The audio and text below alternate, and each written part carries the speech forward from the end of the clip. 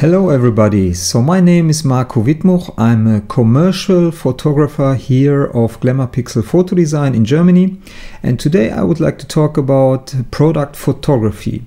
So I have done already um, some commercial pictures on white background for a customer and um, when the photo shooting was ready the customer called me and said well Mr. Wydmuch so the pictures are great but the white background well that's usual in the most uh, shops online shops in the web but uh, i would like to have a photo which is um, better and has more mood in it and more spirit and looks better at least so it is about this uh, little bottle here.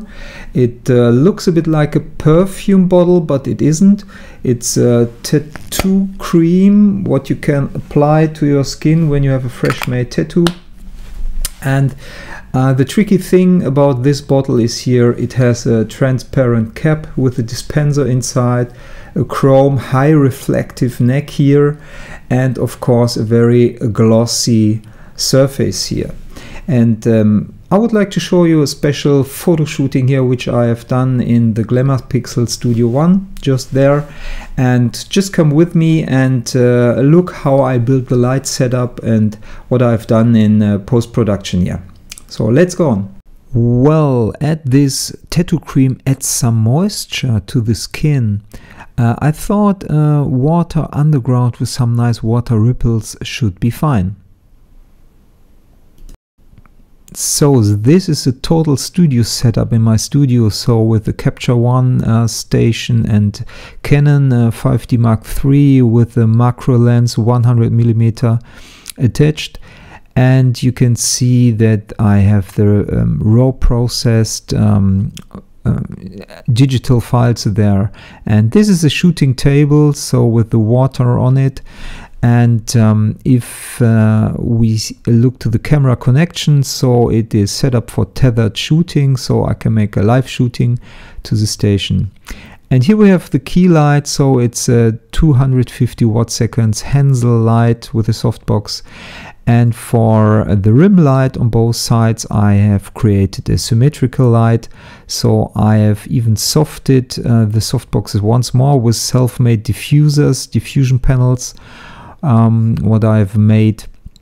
And if I go here uh, to the back of the setup, you can see uh, this is a background light. So I have used a honeycomb grid and uh, the reflection of the background will also be visible in the water and especially in the water ripples to make the ripples more visible and that you have more definition in the ripples.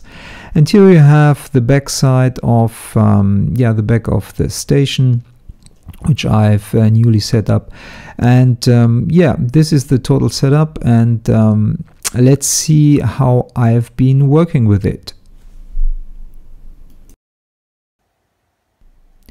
So the tricky thing for this shooting was the exact timing of uh, the dro dropping the bottle into the water and get this nice ripple. And at the same time I have used the remote shutter for making the photo. So it took uh, some training and around 30 pictures to get it done.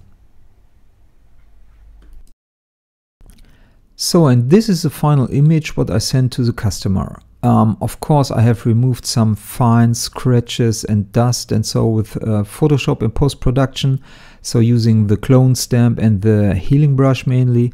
And as you see, uh, I have applied a blue um, yet a blue style to the whole picture because I thought this would perfectly fit to this uh, water and ripples on the ground. So um, of course, I could have invested even more time to post production, that is clear. But on the other side, um, I would like to see my images a bit realistic and that the customer does not uh, think that it is CGI, so computer generated imaging. So I would like to have a, a, at least a small amount of realistic touch in my photos. So um, yes, that's all for the moment. Thanks for watching please visit us on www.glamourpixel.de. See you. Bye.